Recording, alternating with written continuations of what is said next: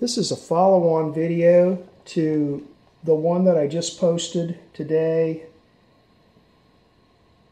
uh, entitled Bear Den Mountain.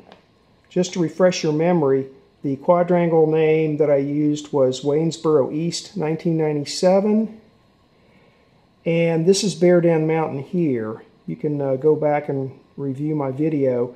But in that video, I showed pictures of me searching for and locating this benchmark right here. There's a triangle right here on the map, and then it says D-E-N, Den. So that is the nickname, Den is the nickname for the benchmark that's up here on top of this mountain. Now, one of the things that you need to know, well, let's look at this first.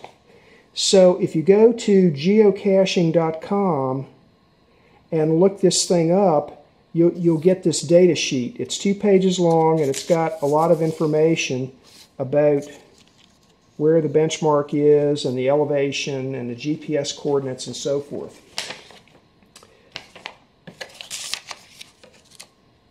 If you look at a more recent map, this is Waynesboro East, same quadrangle map, but for 2016,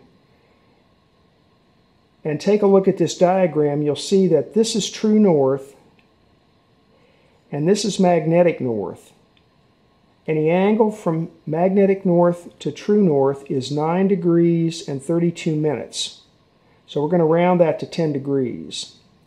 So it's 10 degrees, the magnetic declination is 10 degrees to the west.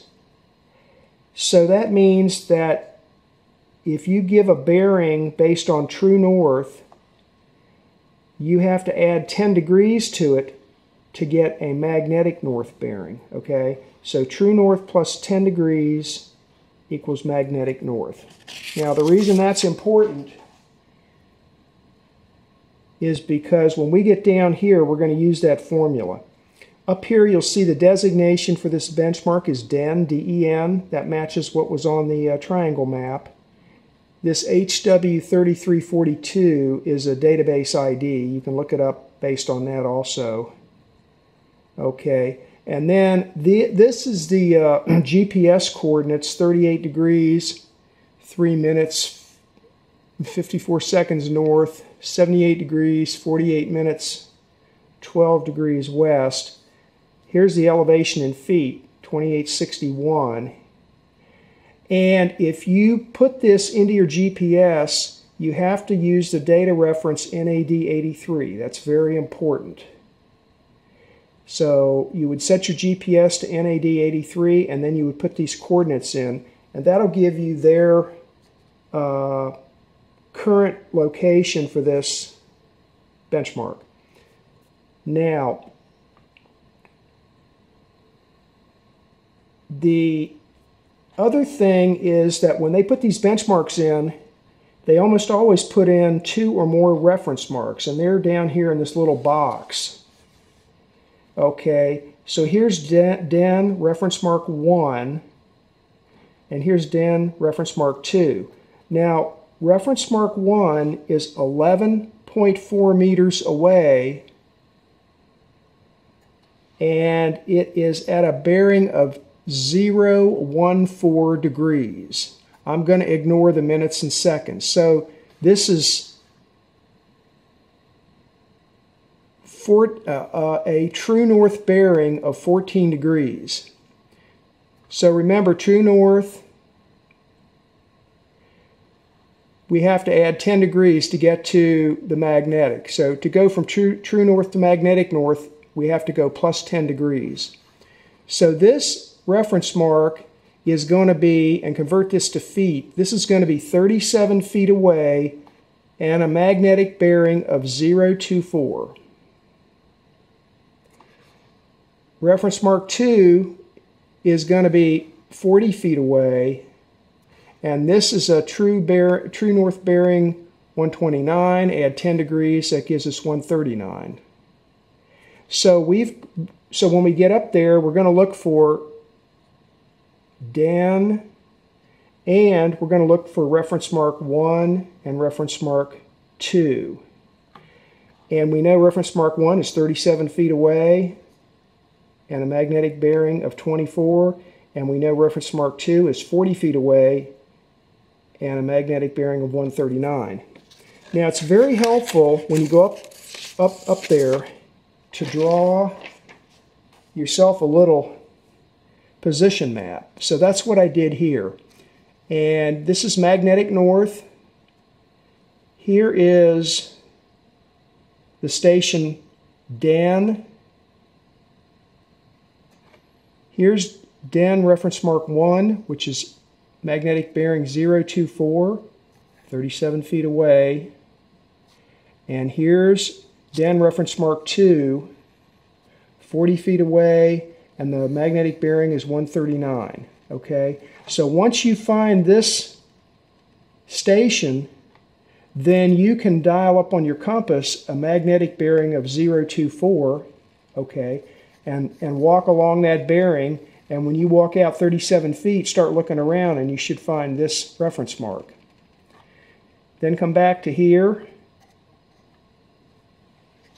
set your magnetic compass to a bearing of 139.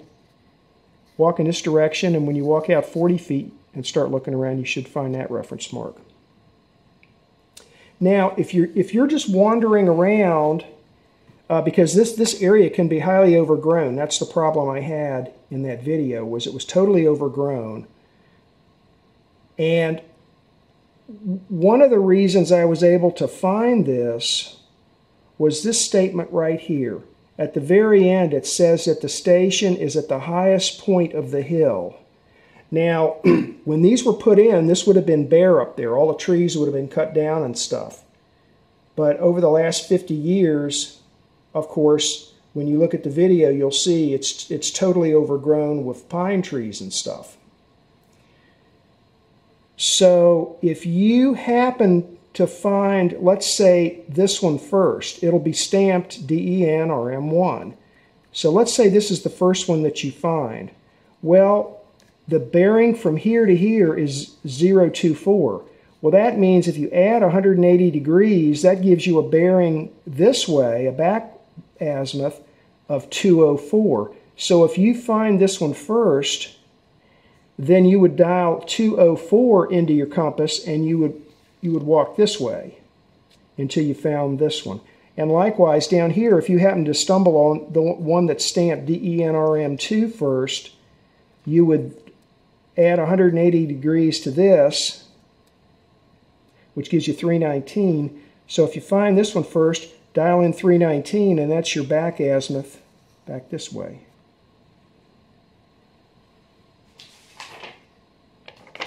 There's a couple of other things on here for example, it tells you that this thing was monumented. Well, first of all, it tells you it's set in a rock outcrop. So you're going to be looking uh, in, a rock, in a rock outcropping. And it was monumented in 1958.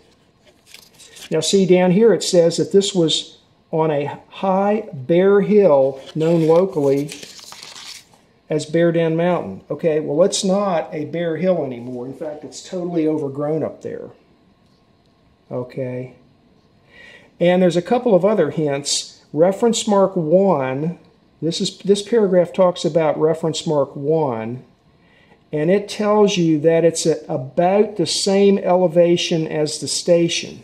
Okay, so that's another hint. So when you're looking around, when you're looking over here on this compass bearing, you want to look for terrain that is about the same elevation as here. Now for reference mark 2, it tells you that it's about five feet below the station and it's in a large rock outcrop on the east slope of the hill okay? So this one that's five feet below so you're going to be here and you're going to be looking in this direction and you're going to see this hill dropping off. So you come down on this compass bearing and when you've come down about five feet or so start looking for a large rock outcrop. And for this one, you're going to walk along this bearing and you're going to look for, an, for a, a smaller rock outcrop about the same elevation as this one. I hope that helps.